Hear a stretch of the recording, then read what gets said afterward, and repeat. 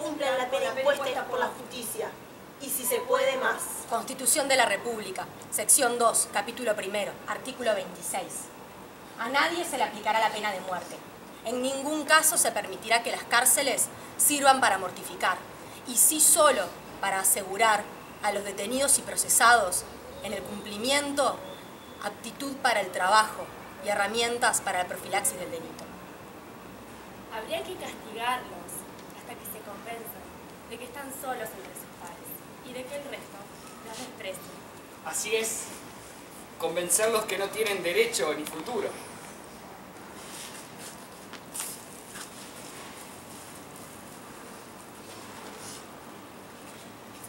Todo indica que ya se juntaron las firmas y que en las próximas elecciones deberemos decidir si mandar o no a la cárcel a los menores de 18 años que infrijan la ley. ¡Imputabilidad! La Corte Electoral validó las primeras 100.000 firmas para ir a plebiscito. Se votará para bajar la edad de impu- de imputabilidad. El mínimo de 250.018 firmas fue alcanzado en la mañana de este jueves. Plebiscito en Uruguay para bajar la edad de imputabilidad. Ya se aseguró las primeras 100.000 firmas. En 2014 tendremos que decidir.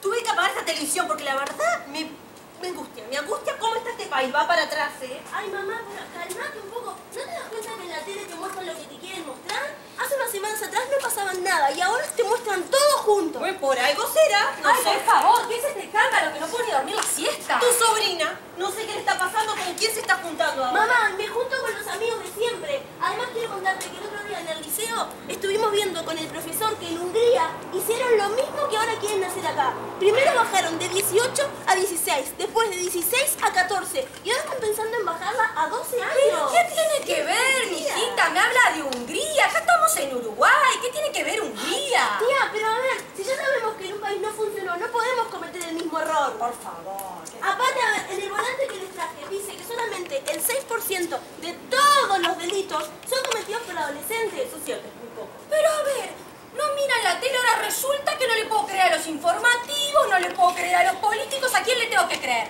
Al volante ¿no? Eso- eh, los jóvenes no, no. que saben tanto. Eso es cierto. Ya ni nos respetan. Ay, ¿Vos te acordás lo que era nuestra época, Ay. no? Si no llegábamos a respetar a mamá, nos castigaba, había respeto a los adultos. ay, a ver, quiero que, que entiendan que tampoco es que los menores no son castigados. Son castigados, pero lo que no queremos es que sean castigados como adultos. Ah, Bien que para robar y andar con armas son bien grandecitos, ¿no? Ay, las cárceles tienen que ser centros de, ru- de reeducación y no de castigo. Ah, bueno, abramos las cárceles como hicieron la otra vuelta, que salgan todos. Ay, por favor, es, es un tema delicado, no podemos tomarlo así tan a la ligera. A ver, a ver, hija, yo estoy tratando de entender, pero a ver, ¿qué solución tenés vos? Ay, no sé, mamá, había que, que pensar. Esta es la única solución que hay.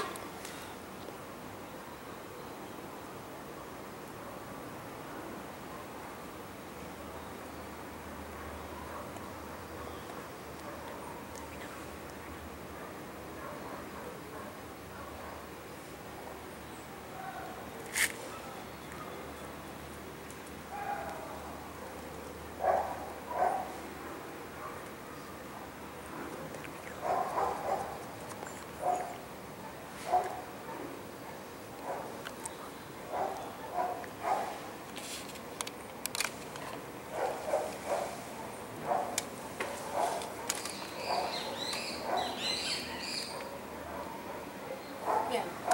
Vamos a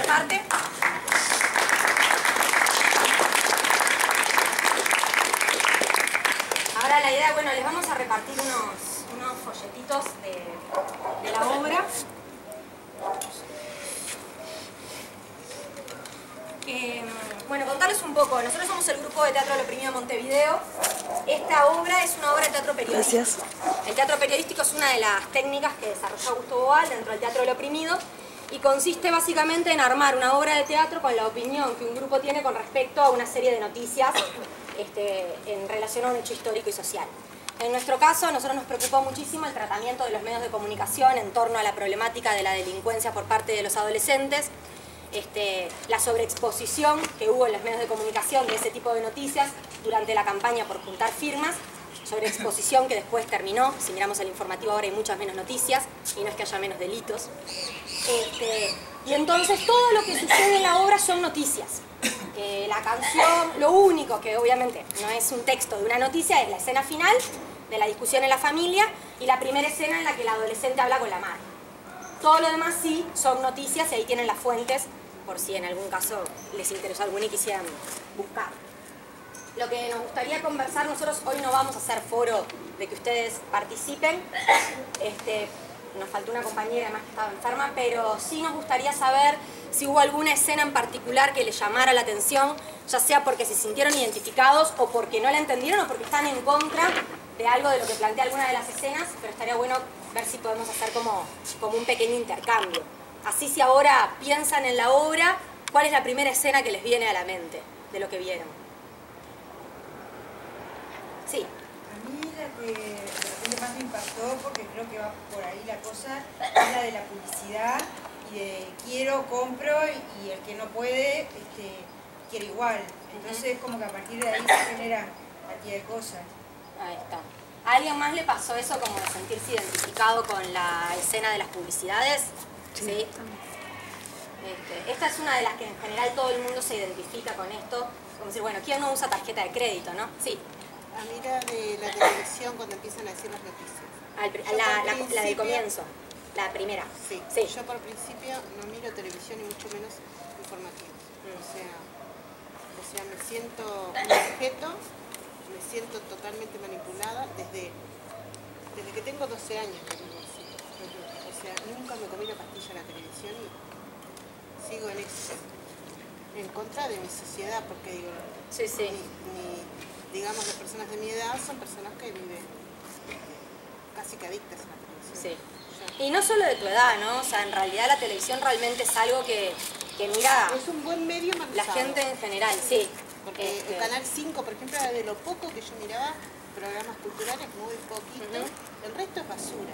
Es basura, es denigrante, me parece a mí, verlo. O sea, ¿Cómo es tu nombre, perdona? Carmen. Carmen. Esto que plantea Carmen está bueno en eso de que, de que ella se siente manipulada. El problema es que a veces no todo el mundo tiene como esta conciencia que tiene Carmen de decir, bueno, lo miro aún de repente sabiendo que esta no es la única verdad. Porque lo que muestran los medios de comunicación no es que sea mentira, no es que ellos mientan. Lo que pasa es que es un enfoque.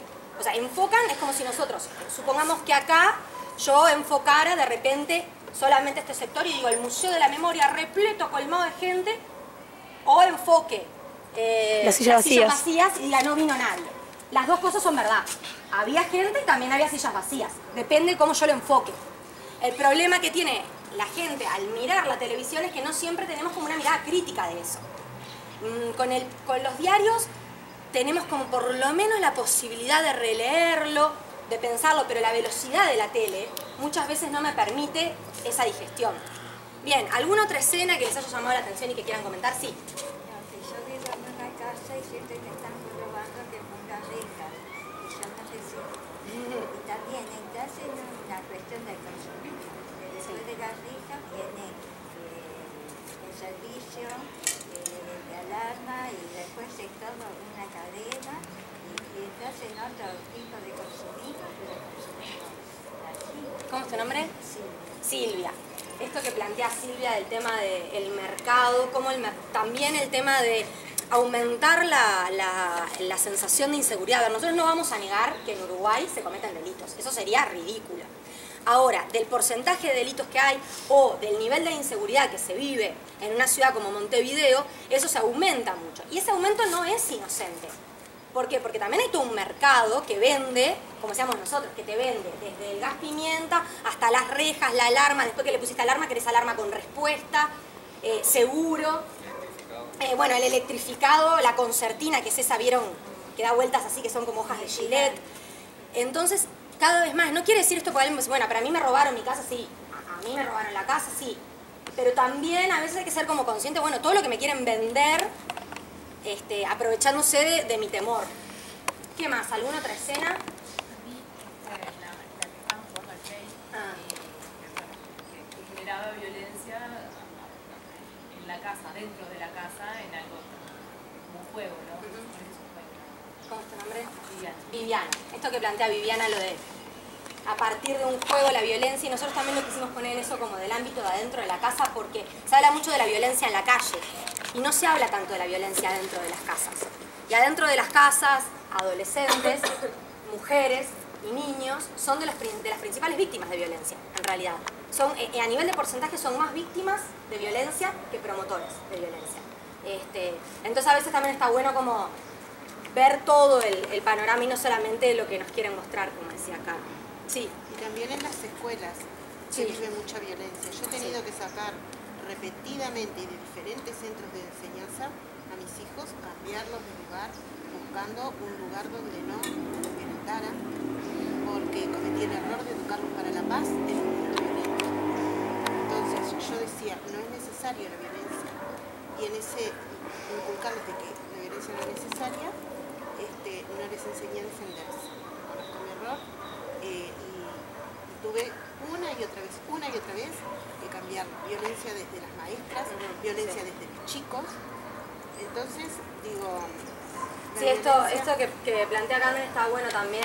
Yo personalmente no creo que sea un error. Creo que uno tendría que seguir construyendo eso. Lo que pasa que es difícil. Pero fueron, Pero- fueron mis hijos este, rehenes de esa situación, ¿entendés? Porque yo cometí ese error. Para mí es un error en el sentido de que primero tendríamos nosotros que cambiar nuestra cabeza para luego inculcarlo del niño. Primero seríamos los adultos, me parece, llegar a un convencimiento de lo que es la paz, vivir en la paz, como tú decís, ¿cómo puede ser que haya violencia dentro de tu propia casa? Lo que pasa que eh, eh, sería muy difícil que sucediera todo al mismo tiempo. Hay como que ir de a poco. Pero en esto que vos decís también de cómo los niños también sufren violencia, por ejemplo, desde el sistema educativo, niños y adolescentes. Y nosotros en Uruguay tenemos un mecanismo que es mucho lo del premio castigo, que fue lo que quisimos mostrar con cosas tan comunes como la rueda rueda o el elefante trompita. Es, si te portás mal, lo que viene es el castigo. No viene la explicación. No viene que vos comprendas por dónde vino tu error como para que lo puedas reparar. No, eh, vino la maestra y me dio un coscorrón, o te portaste mal y 15 minutos mirando la esquina de la pared. Eso para un niño realmente es tremendo. Para un adulto, que a mí me pongan 15 minutos mirando la pared, bueno, en, mis años de vida 15 minutos no es tanto. En un niño 15 minutos puede representar el día entero. ¿no? Y eso es un poco también lo que pasa con el que ayer lo veíamos con una abogada que estuvo con nosotros en, en la presentación. Los adolescentes son juzgados, eso está bueno que, que realmente todo el mundo maneja la información a partir de los 13 años.